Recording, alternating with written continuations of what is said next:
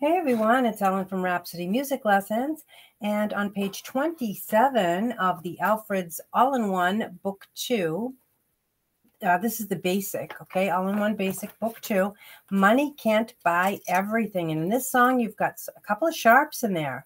So just pay attention to those and watch out um, for when they appear because they are labeled in the song, but they're not in what they call the key signature. All right, so I'll just play this and if you've got any questions, you can always leave them in the comments for me. And if you find my videos helpful, please hit that like and subscribe. And here is Money Can't Buy Everything. And I'm leaving Beethoven Bear here because I just made a video and taught a lesson and um, he was with us. So he's sticking around right now. All right, here we go with Money Can't Buy Everything.